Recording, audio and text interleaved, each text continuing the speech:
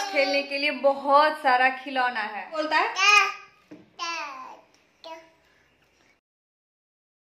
और मैं परमिशन लेकर के एडमिशन करवाई हूँ और अभी मेरा एडमिशन हो चुका है पॉलिटिकल साइंस से पीजी में।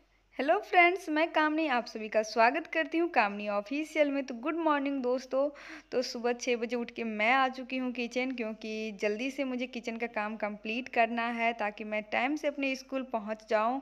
और जल्दी जल्दी मैं किचन में नाश्ता और खाना बना रही हूँ ताकि बाबू के साथ भी कुछ समय मैं बिता पाऊँ। नहीं तो सुबह साढ़े आठ बजे से मैं घर से निकल जाती हूँ और फिर शाम में मैं साढ़े पाँच बजे रूम आती हूँ। तो इतना देर बाबू मेरे बिना रहता है तो मैं सुबह में अगर उससे अच्छे से मिल करके, उससे टाइम दे करके जाती हूँ तो पूरा दिन मैं भी बच्चों के साथ वहाँ अच्छे से क्लास लेती हूँ और रिलैक्स रहती हूँ और बाबू भी थोड़ा खुश रहता है। अगर सुबह में मैं उससे बिना मिले चली जाती हूँ तो वो दादी को बहुत परेशान करता है। और क्योंकि अब वो तो एक साल का हो गया है तो बहुत कुछ समझने लगा है। और हमेशा मम्मी मम्मी करते रहता है, मुझे खोजते रहता है वो। और जब मम्मी कॉल करके मुझे बताती है तो मुझे भी अच्छा नहीं लगते रहता है। तो इसलिए मैं मॉर्निंग में थोड़ा जल्दी उठ जाती हूँ, ताकि नाश्ता जल्दी बन जाए और मैं नहा के रेडी हो जाऊँ और मेरे पास समय रहे, ताकि मैं बाबू से मिल करके जाऊँ। यहाँ से सात किलोमीटर दूर मेरा स्कूल है तो घर से मैं आठ पच्चीस में ही निकल जाती हूँ और नौ बजे से पहले मैं स्कूल पहुँच जाती हूँ। नौ बजे तक तो पहुँचना होता है स्कूल। तो मैं गवर्नमेंट जॉब कर रही हूँ, आप सबको पता है कि मैं एक टीचर हूँ और बिहार में गवर्नमेंट स्कूल में और गवर्नमेंट जॉब करते हुए इतने छोटे बेबी के साथ घर मैनेज करना और सारा चीज़ मैं कैसे करती हूँ? तो बाबू के उठने से पहले ही मैं किचन का काम कर रही थी और दादी माँ उसकी गई फ्रेश होने के लिए तब तक मैं देखी कि ये जग गया था। गुड मॉर्निंग गुड मॉर्निंग सोना और मैं बाबू को लेकर के फिर बाहर आई। सुबह हो गई। सुबह हो गई बेटे। थोड़ी देर मैं बाबू के साथ थी तब तक देखी कि सब्ज़ी भी हो गया और यहाँ मैं मम्मी के लिए पपीता भी कट कर दी हूँ। किसी का फेवरेट बनाना। पसंद है? पसंद है किसी? बनाना? बनाना?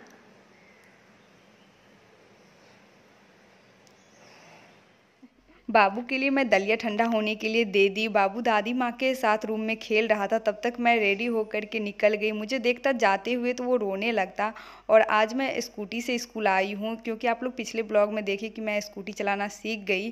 ऑटो से कभी कभी मैं लेट हो जाती थी, क्योंकि टाइम से नहीं मिलते रहता था।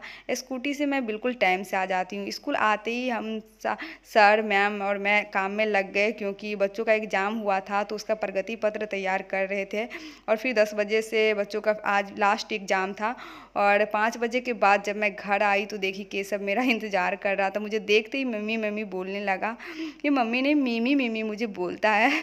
तो मुझे बहुत अच्छा लगता है और इसके लिए मैं बिस्किट लाई थी। तो अभी ये बिस्किट खा रहा है।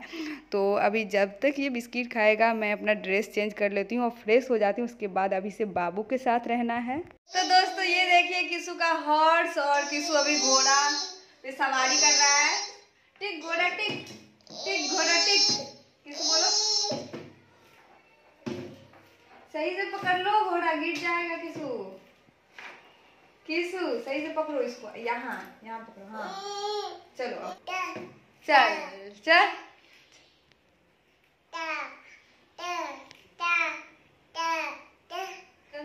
ये किसु का प्ले रूम है और यहाँ देखिए किसु का खिलौना सब है, सब खेलने के लिए।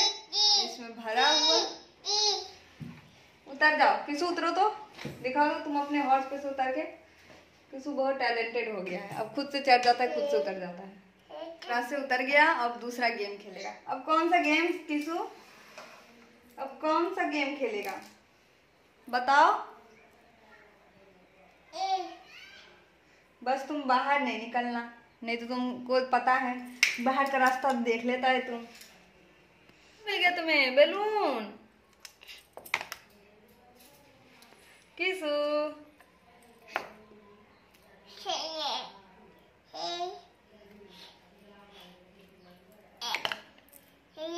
वाह ये सब खेल रहा है। ये क्या है कैसा?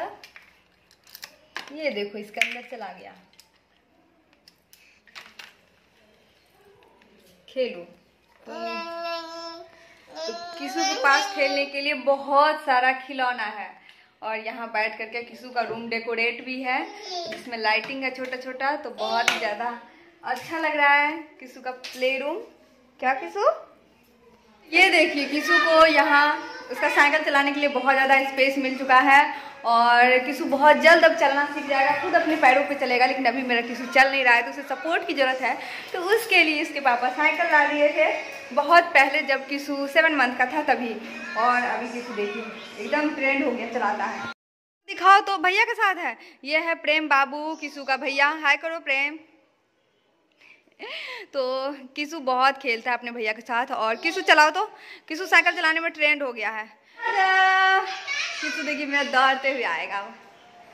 किसु आ जाओ बेबी। मम्मा के पास आ जाओ। आ जा आ जा सोना। ये माय बेबी मैं किसु आ गया दोस्तों। आपके घर में अगर छोटा बेबी हो किसु के जैसा तो उसे ज़रूर मिलाइए किसु से। ये देखिए किसु आप दौड़ते हुए चला गया। तो दोस्तों, स्कूल से आने के बाद मैं केसव के साथ ही होती हूँ, कोई काम नहीं करती मैं। उसके बाद दो तीन घंटा तक केसव के साथ ही रहती हूँ, कुछ भी मैं नहीं कर पाती हूँ। क्या केसव और मम्मा अभी केसव की पढ़ाई भी नहीं करी। आप लोगों को पता है दोस्तों कि मैं आगे पीजी में एडमिशन करवाई हूँ और पॉलिटिकल साइंस से।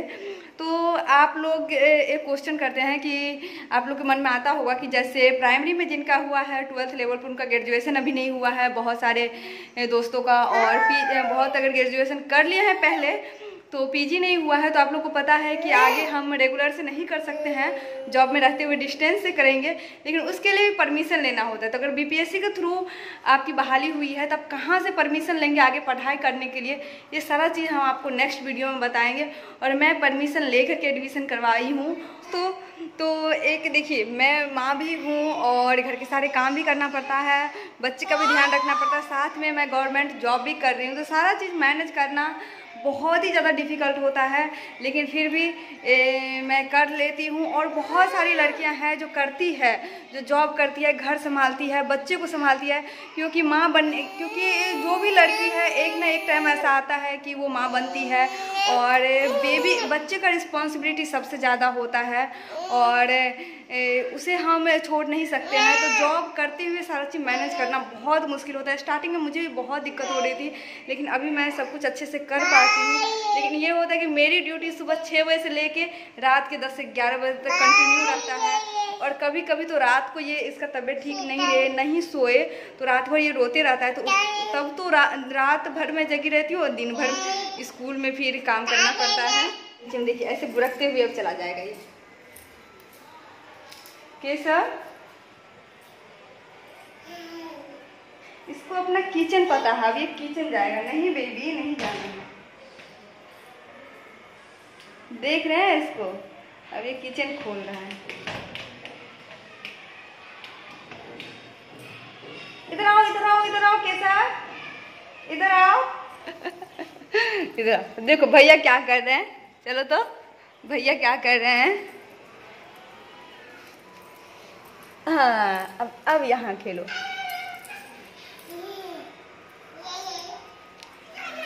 दोस्तों, आप लोग में से बहुत सारी हमारी फ्रेंड लोग कमेंट करती है कि आपकी फैमिली सपोर्ट करते हैं। दोस्तों, मेरे फैमिली सपोर्ट के तभी मैं यहाँ तक पहुँच पाई हूँ। लेकिन ऐसा नहीं होता है कि जॉब के बाद स्ट्रगल ख़त्म हो जाती है। अभी मेरा बेबी बहुत छोटा है तो मुझे बहुत ही ज़्यादा स्ट्रगल करना पड़ता है। कभी रात भर मैं जगी रहती हूँ, फिर दिन भर सुबह उठ के घर के काम रहते हैं, बच्चे का ध्यान रखना और फिर ड्यूटी करना, सारा चीज़ मैनेज करना होता है। तो ऐसा नहीं है, हमेशा एक जैसा वक्त रहता है। देखिए, ज़िंदगी में वक्त बदलती रहती है। कभी आपके लाइफ में अच्छी वक्त, अच्छे वक्त आएँगे, कभी ऐसा दिन आएगा जब मन बहुत परेशान हो जाएगा, बुरा वक्त भी आता है।